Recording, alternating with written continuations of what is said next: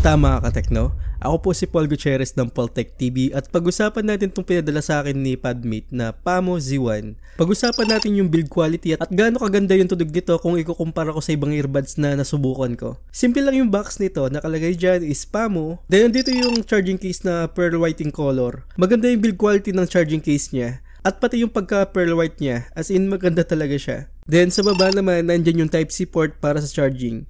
Then sa side, meron tayong indicator lights dyan. Actually, puti lang to. Pero kakaiba yung indicator lights na to kumpara mo sa ibang TWS. Then sa loob ng charging case, nandyan yung C1 na true wireless earbuds which is at first hindi ko nagustuhan yung design nito. Pero nung nasuot ko, komportable naman sa tenga at hindi masyadong masakit sa tenga kapag tumatagal. Unlike sa ibang TWS na nasubukan ko sa katagalan, medyo nakakangalay at medyo masakit sa tenga. Ito, komportable pa rin siyang gamitin kahit matagal na.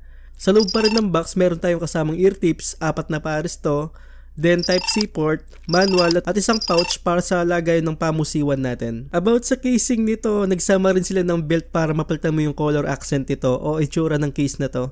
Which is satisfied ako sa ganito dahil pwede mo i-customize yung charging case mo dahil sa mga belt na to at sobrang dali lang ikabit nito. Come to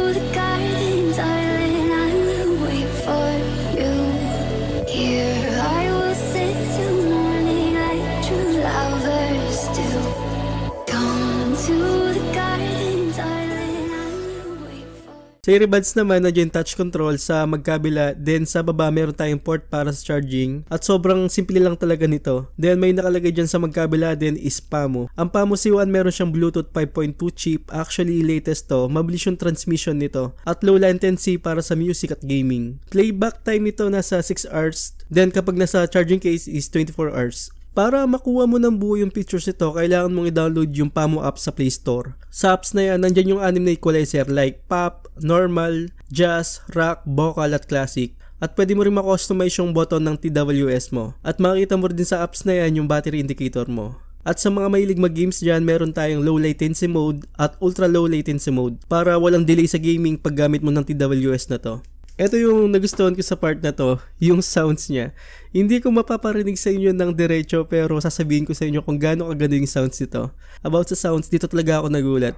Siguro ito yung pinakamagandang sounds na niyang box ko na TWS. As in, malakas talaga siya. Buong buo yung bass, balance yung mid at treble lalo na kapag naka-activate yung noise cancelling features niya. Actually, may dalawang modes to na ANC modes at transparency modes. Sobrang ganda ng noise cancelling ito. Siguro marinig mo lang siguro about 10% lang. Sobrang hina lang talaga. Kung sa sounds talaga, kung tatanungin nyo ako, sobrang panalo to. Nag-unbox na ako ng Halo TWS dati at Sirius Pro. At kinumpara ko rin to sa Xiaomi Earbuds Pro. Sobrang panalo ng sounds ito kumpara mo sa mga yun. At maganda pa rito, ma-adjust mo yung mga equalizer na gusto mo. Nagulat talaga ako sa TWS na to.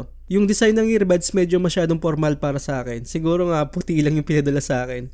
Pero may ibang kulay pa naman kung gusto yung ibang kulay. At maganda pa dito, napapalitan yung belt sa kulay na gusto mo. Sobrang highly recommended ko tong TWS na to.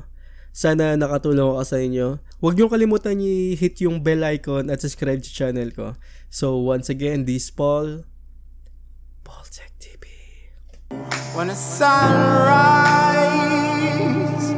sun.